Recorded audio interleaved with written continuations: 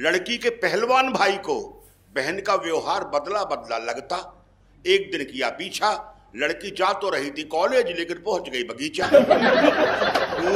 और बहुत सम्मान के साथ आमंत्रित करते हैं आदरणीय मनोहर मनोज जी को। कॉलेज के प्रांगण से क्लासरूम में जाती छात्रा के हाथों से किताब गिरे। एक छात्र दौड़कर किताब उठाए। किताब थमाते समय धीरे से छात्रा की अंगुली दबाए, यानी कि छात्र की वर्षों की साधना सफल हुई कि हाथ से अब नहीं जा सकती मुई। दोनों में होने लगी बातें। बढ़ने लगी, मुलाकातें, चाँद रातों में जलाने लगा, बसंत तिल मिलाने लगा, रात करवट बदलते बीत जाती, चेहरा आँखों में ऐसा समाया कि नींद ही नहीं आती। कुल मिला के दोनों का बुरा हाल है, ये हिंदी साहित्य का रीतिकाल है। ये ये हिंदी साहित्य का रीतिकाल है। खांसी, खुशी खांसी, खुशी और प्रेम छिपाए नहीं छिपता। लड़की के पहलवान भाई को बहन का व्यवहार बदला बदला लगता। एक दिन किया पीछा, लड़की जा तो रही थी कॉलेज, लेकिन पहुँच गई बगीचा। पूर्व पूर्व नियोजित पूर्व नियोजित कार्यक्रम के अनुसार दोनों प्रेमी मिले, चारों ओर मिलन के फूल खिले, आपस में जताने लगे प्यार, पहलवान को समझ में आ गया। बहन का बदला हुआ व्यवहार, उसने बहन को पीछे धकेला, प्रेमी को दोनों हाथों से ऊपर उठाया, फिर एक गोल लंबा चक्कर लगाया, चारों ओर उठने लगा धूल और बवंडर, ज़मीन पर पटकते ही प्रेमी हो गया खंडहर, प्रहार पर प्रहार, लात घूसों की मार, चारों ओर मच गया बवाल, ये हिंदी साहित्य में कहलाएगा वीर गाथा काल। ये हिंदी साहित्य में कहलाएगा। वीर गाथा काल फटाफट राखी मंगाई गई।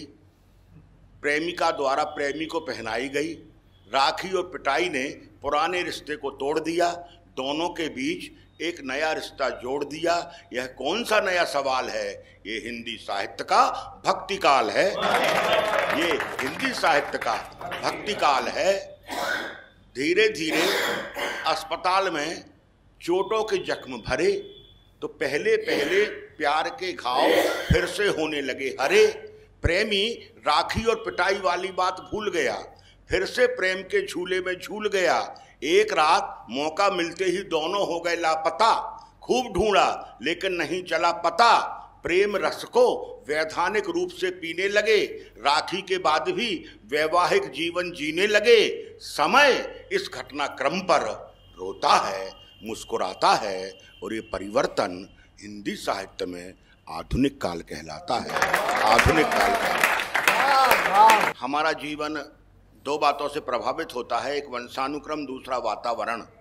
आदमी जिस वातावरण में रहता है उसका आदि हो जाता है। हम कवि लोग इतनी रेल यात्रा करते हैं कि पूरा जीवन रेलमय हो जाता है। इसका प्रभाव हमारे परिवार पर क्या पड़ता है? सुनिएगा रेल यात्रा। स्वागत है। पत्नी ने कहा डॉक्टर के यहाँ जाना है। थोड़ा सा चेकअप कराना है। आहा शाम पत्नी को डॉक्टर के यहाँ ले जाकर मैंने कहा दिखाइए। उसने रोनी सी सूरत बना के कहा आप आगे आइए। मेरा तो बहाना था।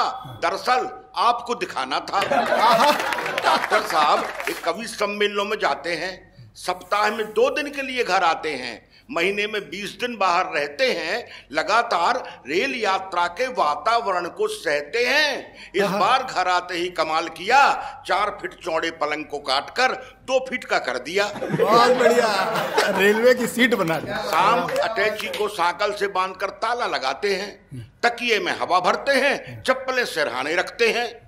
कमरे का ट्यूबलाइट अलग किया उसकी जगह ज़ीरो वाट का बल्ब लगा दिया।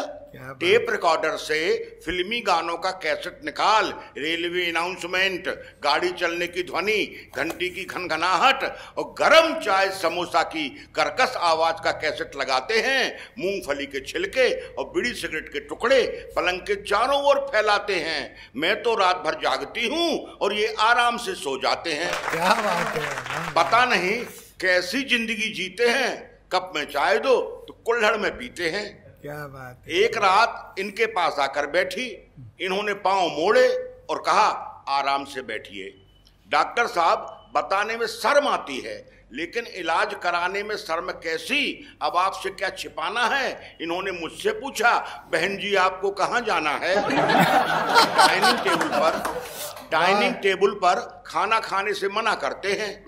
पूड़ियाँ मिठाई के डिब्बे में और सब्ज़ी प्लास्टिक की थैली में भरते हैं। फिर अपने दो फुटिया पलंग पर बैठकर खाते हैं। बीच बीच में हिलते भी जाते हैं। क्या बात है। नीचे खाली डिब्बा फेंक कर वही हाथ धोते हैं। पानी की कुप्पी पलंग के पास वाली खिड़की पर लटकाते हैं और रेलवे टाइम टेबल पढ़ते हुए आराम से सो जाते हैं। क्या बात है। एक रात मेरे भाई और पिताजी आए। दोनों इनकी हरकतों से लजाए। रात में भाई ने इनकी अटैची जरासी खिरकाई ये चिल्लाए जंजीर खींचू। चोरी करते शर्म नहीं आई। सुबह सुबह बूढ़े पिताजी जल्दी उठकर नहाने जा रहे थे। बालकनी पर इनके पास वाली खिड़की से आ रहे थे। उन्होंने खिड़की से हाथ डालकर इनको जगाया। इन्होंने गुस्से में कहा इस तरह मत जगाओ यहाँ कुछ नहीं मिलेगा। माफ़ करो बाबा आगे जाओ। पिताजी आगे गए तो उन्हें वापस बुलाया। उनके हाथ में अठन्नी दी और पूछा कौन सा स्टेशन आया? इनका अजीब कारनामा है। एक पर एक हंगामा है। अभी कबाड़ी के यहाँ से एक पुराना टेबल फ़ैन मंगवाया और छत पर लटके अच्छे खासे सीलिंग फ़ैन को उतार कर उसकी जगह पुराना टेबल फ़ैन लटकाया, उसे चालू करने विचित्र तरीका अपनाते हैं। जेब से कंघी निकालते हैं और पंखा घुमाते हैं। सुबह अटैची खोलकर मंजन ब्रश साबुन निकालकर बाथरूम की ओर जाते हैं। मैं कहती हूँ, ठहरो। बेटा गया है तो वहीं लाइन लगाते हैं। समझाती हूँ, आ जाओ तो रोकते हैं। हर दो मिनट के बाद बाथरूम का दरवाज़ा ठोकते हैं। इन्होंने पूरे घर को सिर पर उठा लिया है। घर को वेटिंग रूम और बेडरूम को रेलवे कंपार्टमेंट बना दिया है। इनके साथ ज़िंदगी कैसे कटेगी, हमें सोच के डरते हैं। और ये सात जन्म की बात करते हैं। हम तो हम तो एक ही जन्म में पछताए और भगवान किसी युवती को ऐसी रेल यात्रा करने वाले कवि को, कवि की पत्नी न बनाए, पत्नी न बनाए